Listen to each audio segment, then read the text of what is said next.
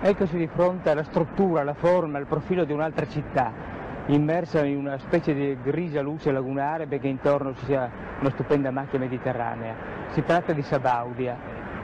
Uh, quanto abbiamo riso noi intellettuali sull'architettura del regime, sulle città come Sabaudia. Eppure adesso, osservando questa città, proviamo la sensazione assolutamente inaspettata la sua architettura non ha niente di irreale, di ridicolo. Il passare degli anni ha fatto sì che questa, che, che questa architettura di carattere littorio assuma un carattere, eh, diciamo così, tra metafisico e realistico. Metafisico in un senso veramente europeo della parola, cioè ricordo, mettiamo certe pittura metafisica di De Chirico. È realistico perché, eh, anche vista da lontano, si sente che le città sono fatte, come si dice un po' retoricamente, a misura d'uomo, si sente che dentro ci sono delle famiglie costituite in modo regolare, delle persone umane, degli esseri viventi eh, completi, interi, pieni nella loro umiltà.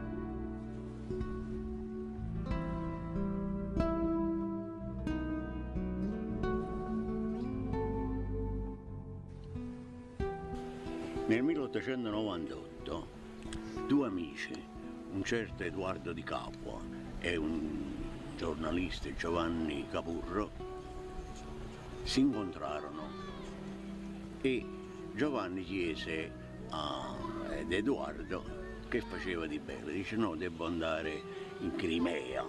O a Russia, niente meno, e, e accompagna papà per uh, certi concerti.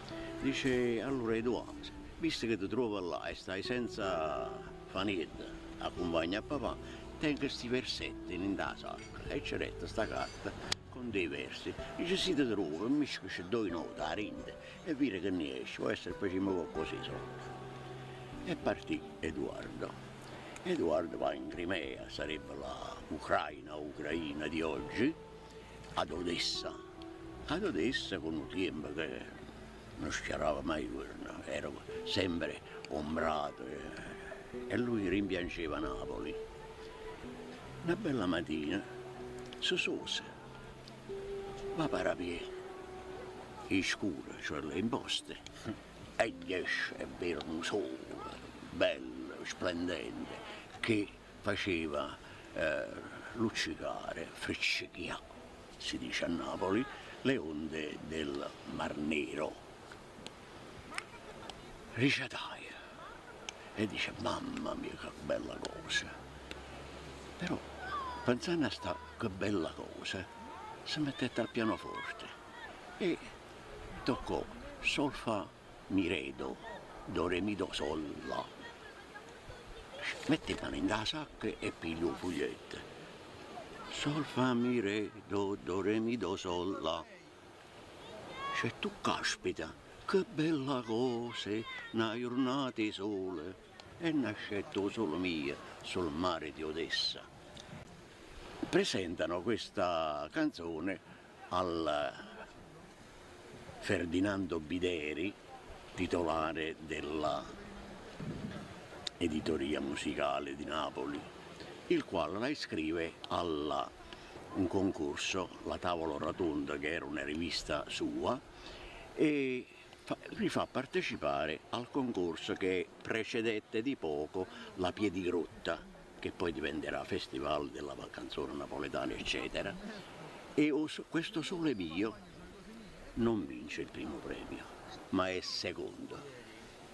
Ma come spesso succede, la prima, che era Napoli Bella, che vinse, fu dimenticata, non si sa nemmeno che fine ha fatto, e O Sole Mio invece partì per esempio alle Olimpiadi di... in Belgio del 1920 c'erano queste Olimpiadi, improvvisamente un maratoneta italiano, un certo, ma pare se ben ricordo, Eugenio Mazzucca, vinse le Olimpiadi. Il direttore dell'orchestra, della banda, eccetera, doveva suonare l'inno italiano. L'inno italiano era, era la marcia reale perché c'è stato un re. Questo non, tro non trova lo spartite, ordina, dice, o solo mio, suoniamo solo mio e suonarono il sole mio. Non fu mai inno suonato e cantato in tutte le lingue, in tutto lo stadio. No, cantarono tutti, tant'è che in seguito poi viene stato più volte proposto questo Sole mio come inno nazionale. Come inno nazionale. Non ce l'ha fatta. Ma Vabbè. Lo però, è rimasto. Però possiamo dire a questo punto che Sole mio è una canzone russa eh, cioè, che eh, cioè, l'argomento si fa seria. Sì, non... È una canzone extracomunitaria. No, no, no, no, no, no, no, perché sì, eh, tengo una moglie e me ne vado a eh. fare un viaggio in Russia, mi nascono eh. figli. In Russia, oh, in Russia. Ma nazionalità? Eh, quindi ma, la nazionalità ma, sosta ma sostanza. Eh, lo so, però allora, io, due extracomunitari in Italia fanno un figlio in Italia, è, è italiano il figlio quindi un solo mio è nato in Russia, eh, eh, a Odessa, quindi è russa. Sì, sì. E questo ma... è un problema? Sì, ma nel sangue scorre, o sangue, o sangue, o sangue, egli, egli, egli lo va da mamma, ma così. Grazie.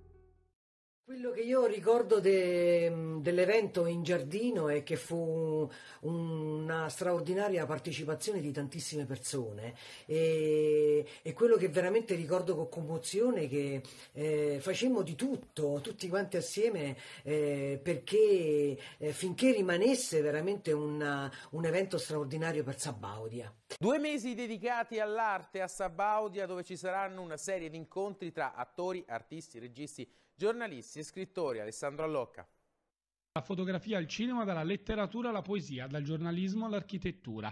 Ogni sera mostre, proiezioni, conversazioni, letture e reading. Ricca la rosa dei partecipanti alla Kermesse, tra gli altri Antonello Caporale, giornalista della Repubblica, Paolo Piccirillo, scrittore Giuseppe Boi, poeta e cantautore, Gianfranco Pannone, regista, Clemente Pernarella, attore e regista, Luciano Scateni, giornalista e scrittore, Lidia Riviello, attrice, Fausto Mesolella, compositore e fondatore della piccola orchestra Avio Lion Travel, vincitrice di Sanremo, Pino Aprile, scrittore e autore di Terroni e Gaetano Amato, attore e autore di Gialli, ma saranno tantissimi altri gli ospiti che si alterneranno ogni sera in In Giardino.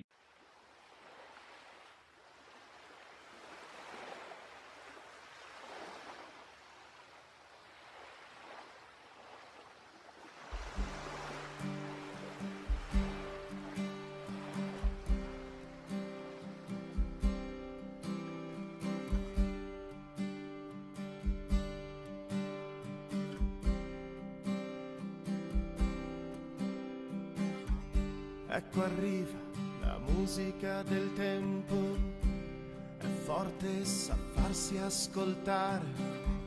Ecco arriva la musica del tempo, è forte sa farsi ascoltare. Vola sopra il rumore dei giorni, sale sopra le voci confuse vola sopra il rumore dei giorni e sale sopra le voci confuse, supera i muri e i confini, supera i muri e i confini. C'è chi la teme e non la vuole sentire, ma è forte, sa farsi ascoltare. È arrivata la grande preso il ritmo da lontano. Ha un tamburo che rimbomba, ha un tamburo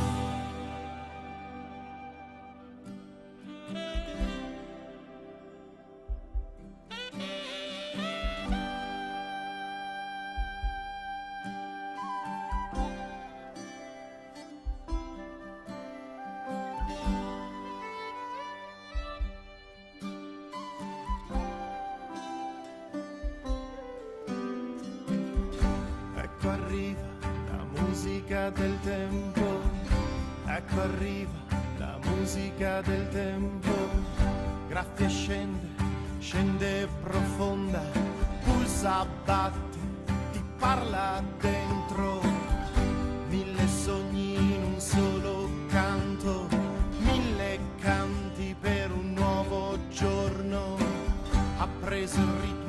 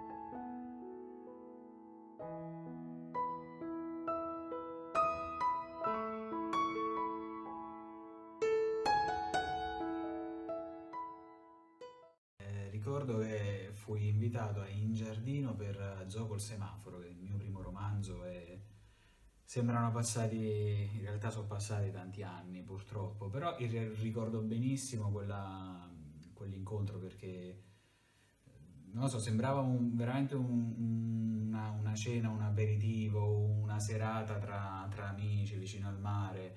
Fu una, un incontro che ricordo con tantissimo piacere. Sembrava una rimpatriata con gente che in realtà avevo appena conosciuto, quindi queste sono sensazioni che eh, rimangono poi poi nel tempo la presentazione andò benissimo, fu bellissima, era, era bello, mi dispiacque andarmene il giorno dopo perché in realtà eh, in posti così uno vorrebbe vedere poi tutto il festival, però purtroppo dovevo andare via. E fu bellissimo conoscere Dino, che è un personaggio del quale ancora ne parliamo io e questo amico che mi accompagnò, perché sono quelle persone che, ripeto, le vedi ed era come come, come un amico che, con cui vai sempre in vacanza insieme no? e ti racconta, entravi subito in confidenza, fu una bellissima serata.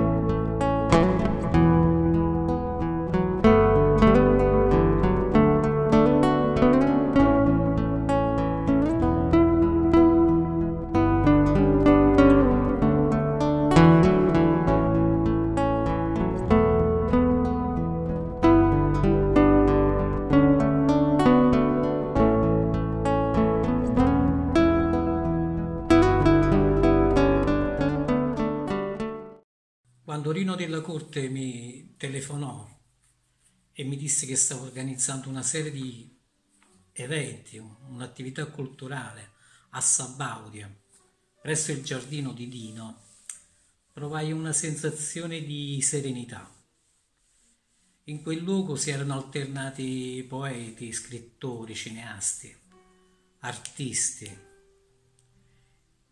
I luoghi della cultura sono dei luoghi che mantengono la simmetria, le giuste proporzioni, però sono anche i luoghi delle, degli scivolamenti, delle illusioni ottiche, dei piani inclinati. Dino della Corte è bravo ad organizzare questi contenitori culturali dove convivono le varie esperienze no? della cultura, della storia.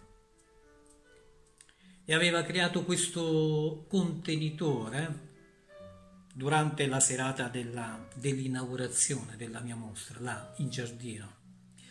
C'era Edoardo De Angelis che presentava un suo film che era Mozzarella Story e c'era una, una performance uh, sul libro delle mille e una notte, per cui era una serata abbastanza piena, importante.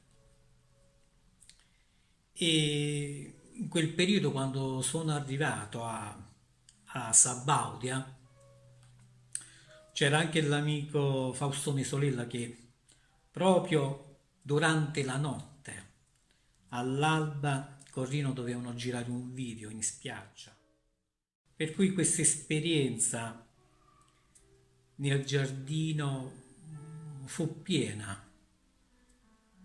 e la ricordo con, con positività, delle giornate così piene di energia, trascorsa, trascorse con diversi artisti, persone che uno ci stava, ci stava bene assieme.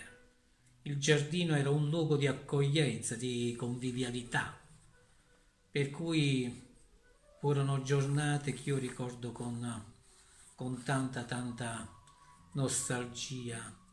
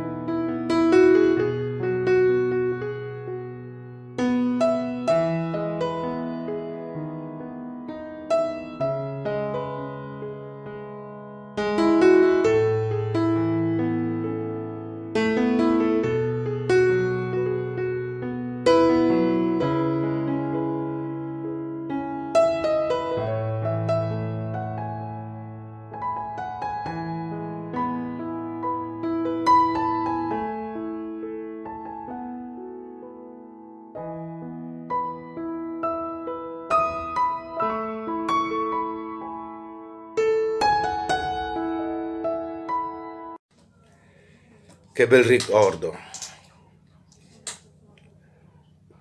In giardino 2012, Sabaudia, il giardino di Dino, Dino, i suoi quadri, la sua pazzesca vitalità, la sua incredibile creatività, ma soprattutto l'umanità la cosa più bella che ricordi in giardino è stata, la definirei con una parola molto usata in, questo, in questi ultimi anni, accoglienza, condivisione, fraternità, umanità, stare insieme, condividere insieme momenti e, e, e spettacoli. E, condivisione di poesie, condivisione di, di, di, di pensieri, di musica, di quadri, di emozioni, in una dimensione casalinga, in una dimensione in cui stavi a casa, eri in casa di una persona fantastica, eri in una bella casa, in un bel giardino, in una bella città, vicino a un bel mare, tutte queste cose che fanno bene all'anima, no? Ecco, in tutto questo insieme, questo, questo condividere, questo parlarsi liberamente, esprimere, dire, senza stare lì a pensare a, a, alle importanze, alle non importanze, essere famosi, non famosi, affamati o non affamati, eravamo insieme. Era molto bello, era molto bello, ho un ricordo meraviglioso di quei giorni. E ho un cruccio. Il cruccio che ho è quello che non è poi stato ripetuto. E, e niente. Fra l'altro anche da un punto di vista personale, per me è stato anche il momento più, uno dei momenti più importanti della mia carriera di eh, menestrello domestico di poesia ed emozione. Eh, tanta gente che non conoscevo, che mi guardava con simpatia, e per me queste cose sono importanti, molto importanti. Volevo ringraziare ancora una volta tutti quanti per avermi invitato, per essermi diventati amici. Un caro abbraccio a tutti.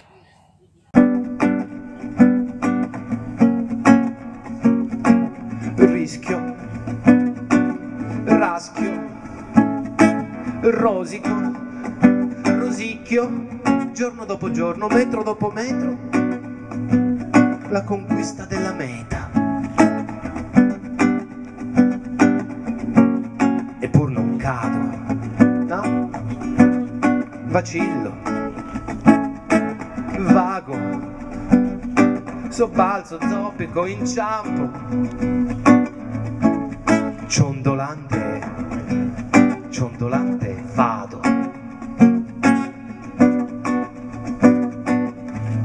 Tutto sommato, tutto sommato, vado.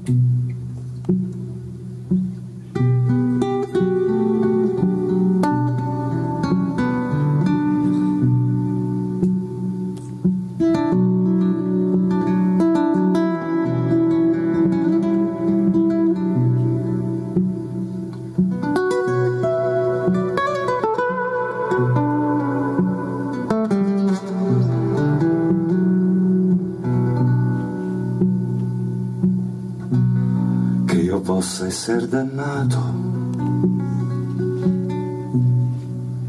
se non ti amo.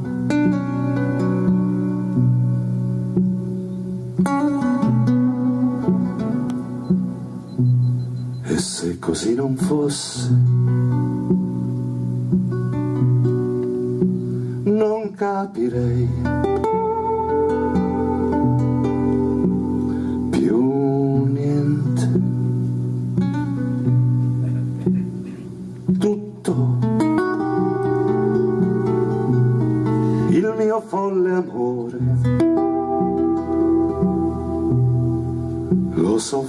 cielo,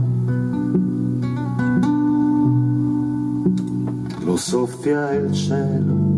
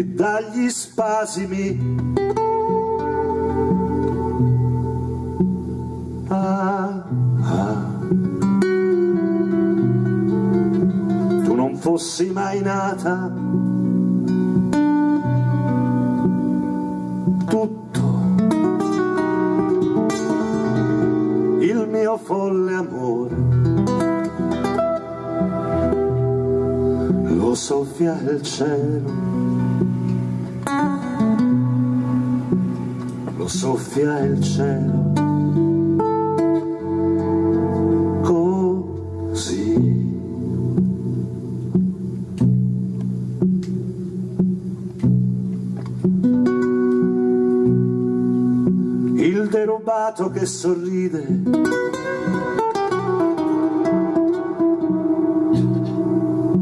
Ruba qualcosa al ladro.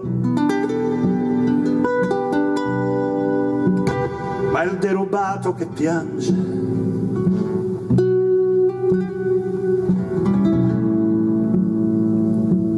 Ruba qualcosa a se stesso.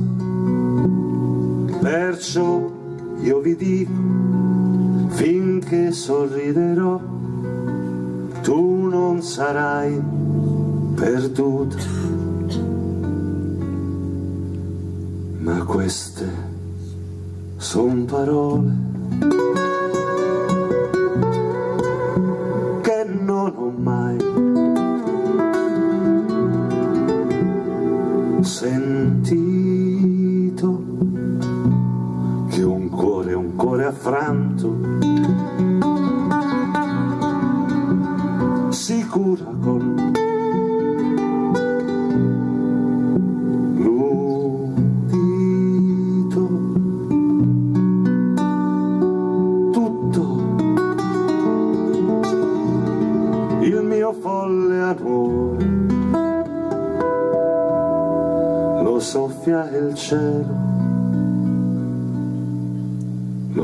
soffia il cielo. Così lo soffia il cielo lo soffia il cielo. Così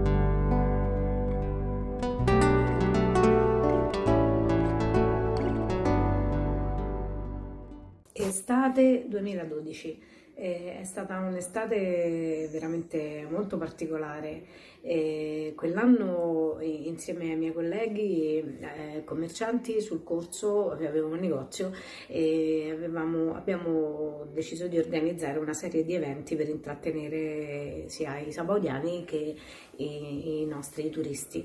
Eh, parlando con Rino ehm, abbiamo pensato di fare una collaborazione con il Giardino che eh, comunque aveva tantissimi eventi in calendario.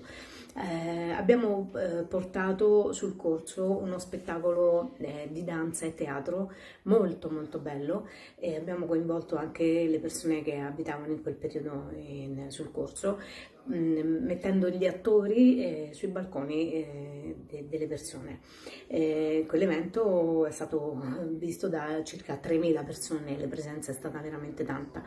Ehm, abbiamo portato sul corso anche musica, teatro, mm, abbiamo portato cinema, eh, abbiamo letto poesie eh, e mm, veramente siamo riusciti ad inserire nel programma che avevamo organizzato noi delle bellissime cose di cultura.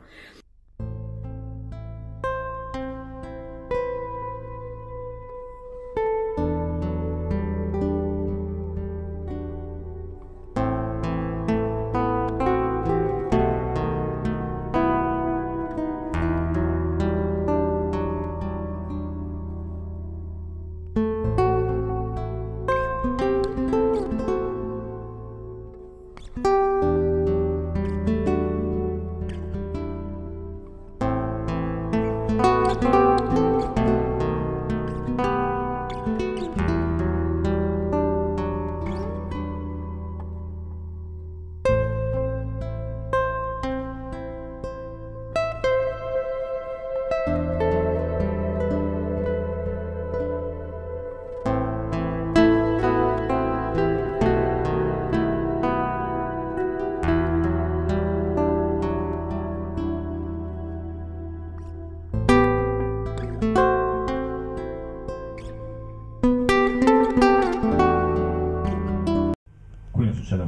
Paghiamo quei ragazzini che ci fanno un po' di casino. Eh. Quelli che tanto in Africa i bambini li puoi riprendere come cazzo di pane. Quelli che all'operatore, prima di salire in aereo in una qualunque parte del mondo, mi raccomando, eh, gira molto materiale che poi io so come sbrigarmela in montaggio. Quelli che quasi quasi rinunciano una settimana di riprese e rivedo la paga con la produzione. Quelli che a montaggio ormai concluso sei bravo ma non mi piaci e poiché sono io il produttore o accetti la correggia o sloggi. Quelli che tranquillo il bonifico te lo faccio tra una settimana un mese dopo non ti è ancora arrivato. Verifico subito con la banca eh, due mesi dopo. Ma il tuo numero di conto corrente era XXX ah no? ah ecco perché i soldi non sono arrivati. Quelli che scrivo bene o male di sto cazzo di documentario. Quelli che diventa esperto di documentari, così trovo finalmente un po' di spazio. Quelli che per il mio documentario ambientalista um, un finanziamento lo prendo dalla regione, due lire dalla comunità montana, poi contratto con quel salumificio che cerca un po' di promozione. quelli che il cinema documentario deve essere povero, se no si snatura tutto. Quelli che io un documentario non lo faccio con meno di 500.000 euro quelli che non mi fanno fare il film e allora intanto giro un documentario. Quelli che... quelli che... quelli che ci spalmo sopra la voce fuori campo così mi sbrigo prima e becco più soldi. Quelli che... E che ce ce a fare un film documentario? Pensa che io un anno ne ho girati 30. Quelli che Qui ci metto un po' di controinformazione, poi più avanti piazzo il vecchio che si commuove, infine monto il finale lievemente ottimista che piace a tutti. Quelli che faccio documentari perché sono comunista. Quelli che non ci sono mai stato, però il documentario in mongolo...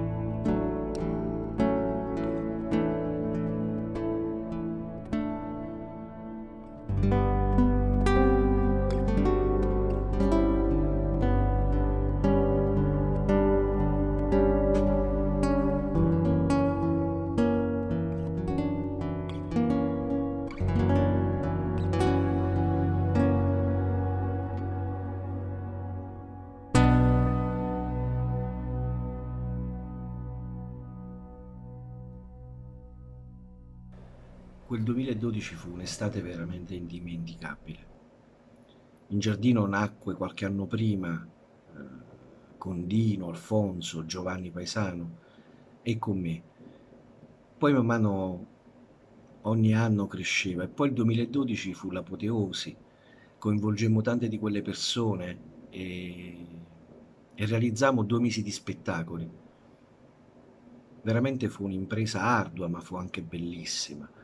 E da Simona, Guglielmo, Asami, Antonella, Roberto, Dino, eh, l'altro Roberto, Sonia, Piera, tutti a darsi da fare.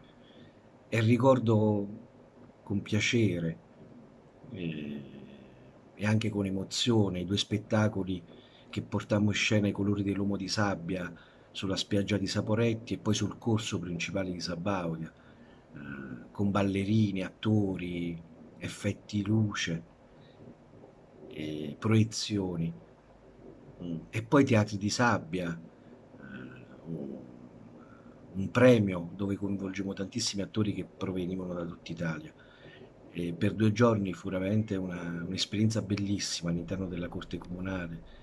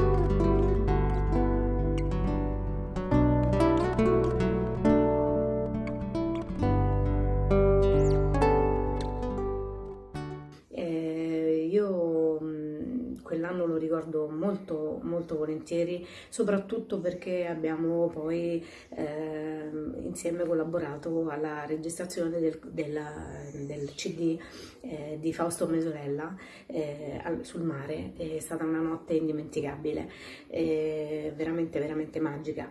E, lui è, era un artista meraviglioso, un artista che sapeva veramente parlare con la chitarra e la sua mancanza si sente, si sente molto.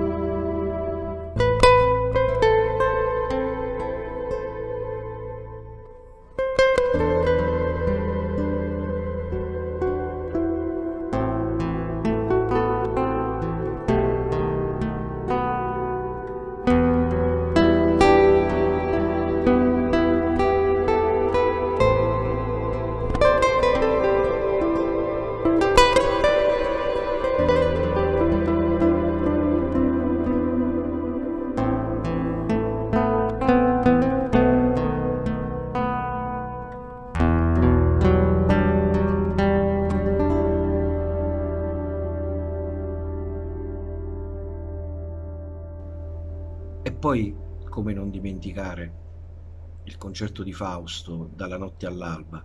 Fausto era venuto già a luglio a, fare un concerto, a presentare il suo CD eh, all'interno del giardino. E, e prima del concerto andammo a fare quattro passi sulla spiaggia, sulle dune, e parlammo di Pasolini, Moravia, del razionalismo, della città dell'utopia e lui poi mi raccontò che stava preparando un film sulla sua tournée e io gli buttai là l'idea di, di, di organizzare un concerto, invece di farlo al tramonto, di farlo dalla notte all'alba, dove realizzare un pezzo di questo film. E lui col sigaro mi guardò, stette qualche secondo in silenzio e poi disse quando è che vogliamo fare? E, e ci organizzammo, ci organizzammo per agosto e fu una notte magica, un'alba stupenda, straordinaria, tantissime persone sulla spiaggia. Fausto con il mare alle spalle, guardando le dune, che suonava. E fu forse il momento più emozionante di tutta quell'estate, l'estate del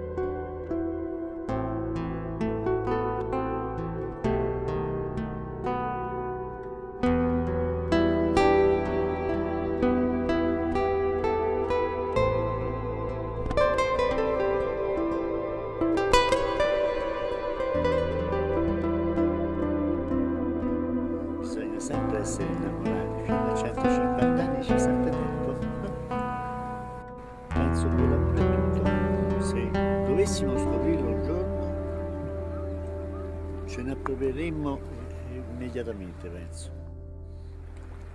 Penso che l'uomo è proprio stupido, sai? Perché, perché vive, vive senza godersi niente, senza, senza la, senza la coscienza di vivere, capito? Dà valore alle cose che non hanno valore e butta quello che, che hanno valore, capito? Adesso non voglio fare il filosofo, il perbenismo, ma siccome mi è capitato quello che mi è capitato, e quando ti, ti vengono le mazzate in testa, come si può dire, allora prendi coscienza, prendi coscienza che la vita è un dono prezioso e che bisogna spenderlo bene il tempo che si ha. Noi lo buttiamo. Quello proprio non conta la ricchezza, perché tanto le cose materiali stanno qua, ci, stanno, ci sono le persone che posseggono, ma in realtà sono possedute, no? E non posseggono. Io ho sempre goduto della bellezza delle cose e le ho fatte mie. Poi ognuno vive secondo lo schema che si prefigge di vivere. Ho soltanto l'invidia quando vedo una bella opera di non averla fatta io, perché penso che chi l'ha fatta si è divertito da morire e io mi diverto quando faccio le mie opere.